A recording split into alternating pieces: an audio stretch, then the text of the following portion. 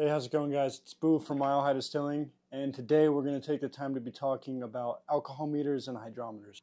So, I decided to do this video today because I've seen quite a bit of misinformation on these meters, um, what they do, how they work, and we're just trying to help people either don't use a hydrometer at all or they're not really familiar with what a hydrometer does and how it works and what they need to do for it. Um, alcohol meters are pretty self-explanatory, but I do see alcohol meters and hydrometers getting mixed up a fair bit.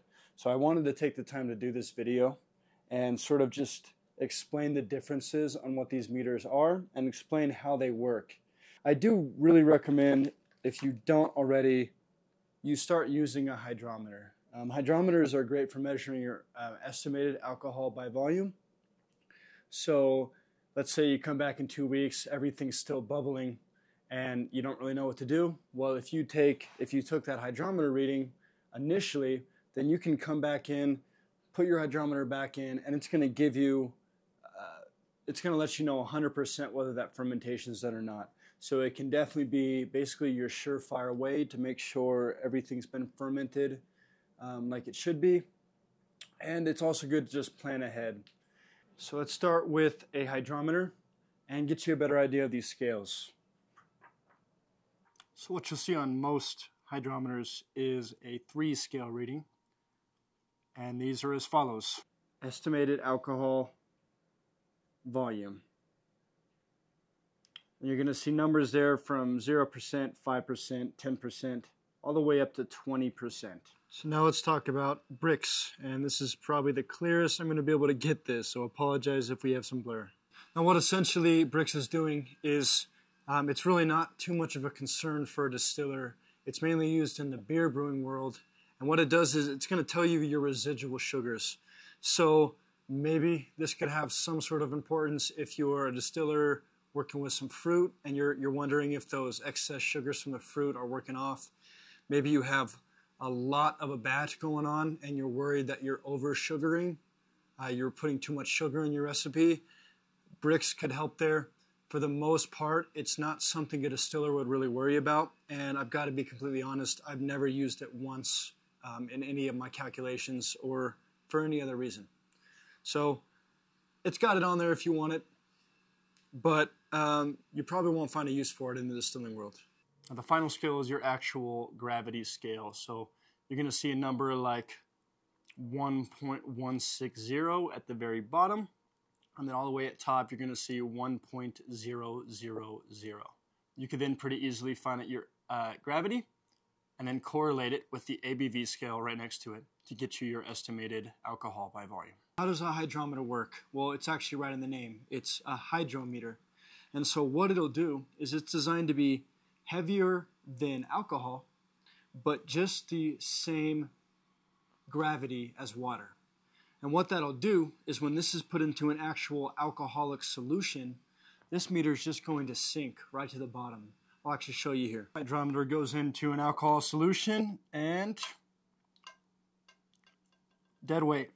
But here's the thing, when you add different sorts of bases or liquids that are heavier than water, like a sugar base, tons of particulate, well, this meter isn't that dense. It's not that heavy. So it'll gradually start to float above the sugar base line, essentially, which is why your reading, starting reading, is always higher. It's going to be something like 1.152. It could be many, many things depending on your yeast. But, you know, typically is, is right around 15% mark.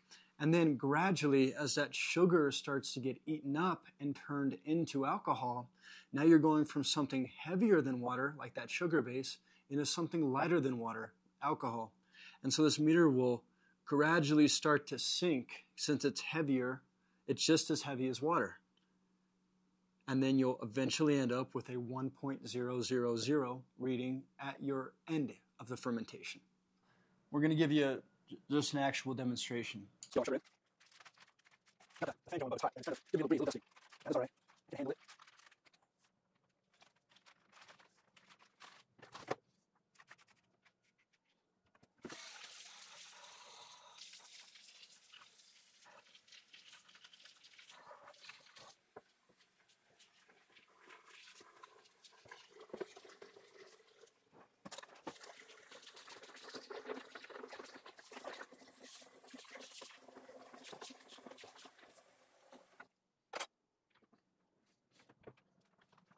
And now before we pitch our yeast, because that can sometimes skew with the reading a tiny bit, let's go ahead and grab our starting gravity, SG reading.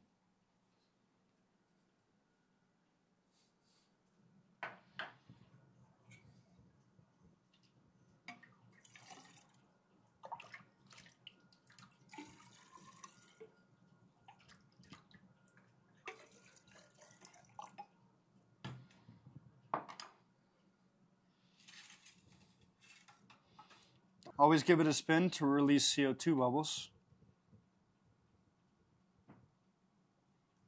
Let's see if I can take this up there. Now I'm already bubbling away, guys. It's really hard to read this meter and keep on track with this camera. I hope you all can see what's going on. I'm at about a 20 Brix level. Now if I take this meter without losing focus, I can now correlate it with an ABV scale, a gravity scale of 1.18. Now I'm going to be honest with you guys. This was a second take because I didn't get the, it was too blurry on the first take. The first take I was at 1.100, just a tiny bit higher. I took that about two hours ago. So I know this fermentation is a little bit better than that, that 1.080, but nevertheless, Let's say we go back on our original figure of 1.100. We correlate that to our estimated potential alcohol, and I'm going to be right at about 12, 13%.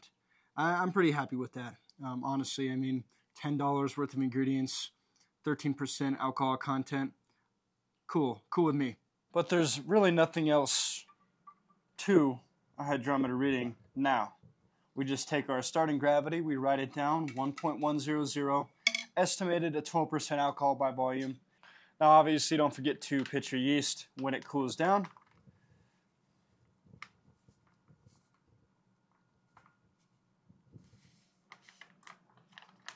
And what we'll see in about probably a few days with this fast I'm using, we'll see in probably just a day or two, we'll take a, another reading. That'll be our final gravity, and I'll show you all the calculation that you need to run to get your estimated, your actual estimated ABV out of everything. Uh, but more or less, I mean, I trust what it's saying to me. It's giving me my, my starting gravity is giving me a good point. The main point of the hydrometer is really just because that's your surefire way to make sure everything's fermented properly. That's why I like to do it. So now let's take the time to talk about our proof and Tralles hydrometer, also known as an alcohol meter or alcohol hydrometer. This will give us two scales. Hopefully this isn't blurry. I apologize if it is. What this scale right here is, is a proof scale. So it's a 0 to 200 uh, scale. And then if we flip this over, we'll see another scale that goes from 0 to 100. And that'll be our Tralles scale. So essentially, something to keep in mind is your Tralles scale will always be half of what your proof scale is. Um, it's just simple as that. So that there's not much more to reading this. Um, take your proof, which is certifiably your the strength, purity of your alcohol. Then you have your Tralles scale, which is basically essentially measuring for, I guess, the impurity left over in your alcohol, if that makes any sense. Let's say you have a 160 proof jar of shine. Obviously, that's 80% alcohol by volume. That means what's in that jar? 80% of that composition is alcohol. The other 20% is water, oxygen molecules that haven't been fully distilled out because that's really hard to do. That's essentially what you're looking at. Um, but when you talk about proof, it gets a little bit crazy. And it, it's always been a kind of a hard one for me to explain. Basically, yes, your ABV is always half of your proof, but those scales aren't mutually exclusive to one another. So really what your purity, your proof scale is, is a purity scale. Let's say you have a 180 proof spirit. Let's say you dial it back down to 80 proof. Well, the fact doesn't change that that started as a 180 proof spirit. Um, so even though technically when you go down to 80 proof, it'd be 40% ABV, that is your basic Tralles reading, but your measurement for proof pretty much always stays the same at the original distillation proof. That's the way I see it anyway. I could be dead wrong. Um, don't take that all with a grain of salt. That's the way I see things. Ask a scientist. I don't know. I'm not one, but that's how I see things. And you'll see that. It'll be it'll be evident. Let's say if you ever get the chance, um, we have a small machine like a, an air stiller, Mr. Distiller, which can distill about 100 proof spirit out of a run. Now then we have our flutes, which can do closer to like 190 proof spirit. Now if we take both those spirits, put them side by side, temper them down to 40% ABV both, even though they're technically the same ABV, I bet you you'd notice a difference in the cleanliness of the spirit, the way it goes down, and so that's where that proof scale comes in. It, it's purity more than anything. And you really can't take that away no matter what you temper down to. Now, if you call us up and you say, hey, I'm looking for a hydrometer, we are almost always going to think you mean a beer and wine hydrometer. This is technically another type of hydrometer. It's called an alcohol hydrometer, but we call this an alcohol meter to prevent that. And it also makes it make more sense to me because this doesn't have anything, this doesn't measure anything to do with water. This is lighter than water, much, much lighter than water, and it's even lighter than alcohol, which is why it works the way it does. Now here's our fermentation. Hasn't been distilled, it's not technically alcohol. It has alcohol in it, but this composition is mainly just water and sugar. And let's go see what happens when I dump this alcohol meter in. It'll just jump right out. And that's because it's so much lighter than everything in this fermentation, technically. This hasn't had long enough to really become alcohol, which is why our hydrometer works, because our hydrometer measures water and sugar. Now, of course, this alcohol meter is a very straightforward device. We have anything with alcohol in it, you know, could be whatever, as long as it has alcohol. And we give it a spin to eliminate CO2 bubbles, and it goes ahead and gives us a proof. Nothing much more than that. Looks like I'm sitting at 160 proof, almost on the dot for this, which is, of course, going to be 80 on my Tralles scale, my ABV scale. So anything added to this that is not alcohol will change that scale. Doesn't matter if it's an oil, if it's a fruit juice, a water, any, any liquid form, anything liquid to add to this liquid composition is going to change this figure and those numbers change. It's not a perfect scale, not that I found anyway. If this was 160 and I wanted it down to 80, I couldn't half this with water. I'd come out closer to like 30 proof that way, in my experience. But maybe you'll have different findings than I do. But I will go ahead and show you if we were to add, let's say, two tablespoons of water, what will our proof go down?